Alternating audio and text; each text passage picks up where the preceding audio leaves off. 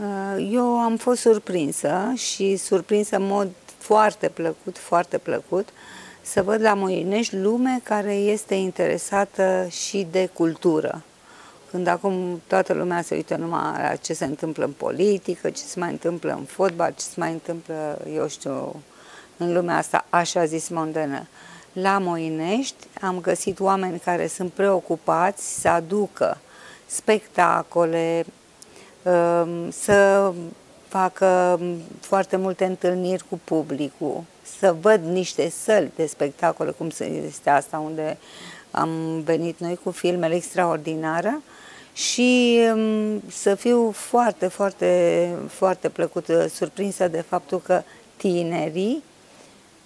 vor să aibă cât mai mulți oameni de cultură în preajma lor. Asta este un lucru îmbucurător și faptul că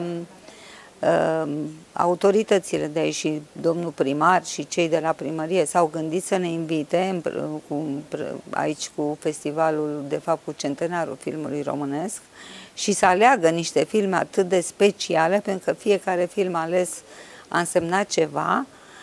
mi se pare un lucru extraordinar de frumos și am văzut lucruri foarte frumoase la Moinești, oricând, oricine o să fie la fel de surprins, să vadă un orășel foarte curat, dotat cu tot ce trebuie, un spital extraordinar, care am înțeles că e unul dintre cele mai moderne din România,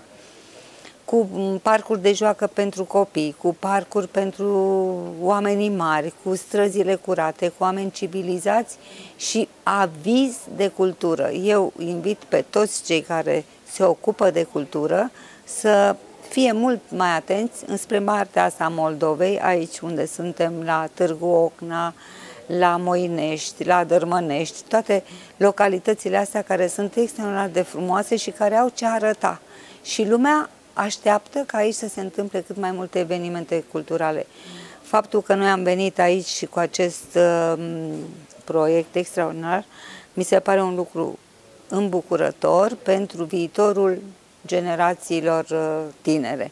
Și uh, evenimentul extraordinar a fost, bineînțeles, întâlnirea publicului din Moinești cu domnul profesor Șora, care a demonstrat încă o dată că um, putem fi buni că putem fi indulgenți, că putem fi uh, interesați de lucruri frumoase și așa putem nădăjdui și noi să ajungem la o vârstă cât mai înaintată, liniștiți și fericiți. Deci faptul că um, sunt foarte mulți tineri care fac acest proiect cu centenarul filmului românesc și care ne duc și pe noi cei mai bătrâni în mijlocul uh, uh, publicului nou este un lucru extraordinar. Eu văd foarte bine nu știu, am o perspectivă pozitivă. Poate m-am lipsit de la domnul Șora, dar sper să vă am lipsit și voi toți care urmăriți imaginile făcute de, de echipa de la Centenarul Filmului Românesc, că nu-i mulțumesc foarte mult că m-au acceptat să fac parte din grupul lor și unde mă simt foarte bine.